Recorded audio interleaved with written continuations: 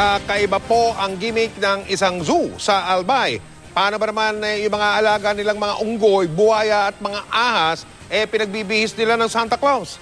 Samantala sa Cagayan de Oro naman, kinagigiliwan ng isang bahay na hitik na hitik sa Christmas spirit. Ilan lang yan sa mga Christmas gimmick sa iba't ibang lalawigan. Tunghayan natin yan sa pagtutok ni Tricia Safra. Paskong Pasko na sa bahay ng pamilya La Victoria sa Cagayan de Oro City. Tampok ang isang Christmas house sa loob ng compound.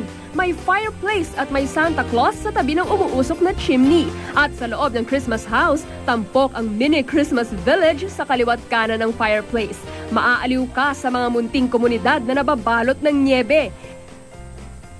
Hindi ka rin mabibitin sa dami ng snowman at mga Santa Claus na sumasayaw at umaakyat baba sa hagdan. Pwede rin magpa-picture sa mga mechanical decors gaya ng mga reindeers. Kung gusto pang mag-relax, nagpapalabas pa ng Christmas movie sa tabi ng Christmas house.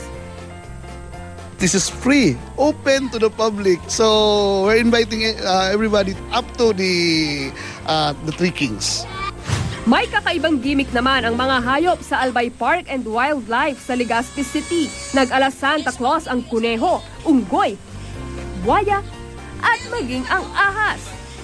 Sa Laguna, nakakatuwang pagmasda ng Christmas Toy Factory sa plaza sa bayan ng Santa Rosa. Gumagalaw ang mga life-size display ng iba't ibang karakter, kabilang syempre si Santa Claus at si Mrs. Claus. Matutunghayan na rin ang animated Belen display sa Binyan City. Tumatagal ng 20 minuto ang pagkwento ng narrator tungkol sa pagsilang kay Heso Kristo. Trisha Zafra, nakatutok, 24 oras.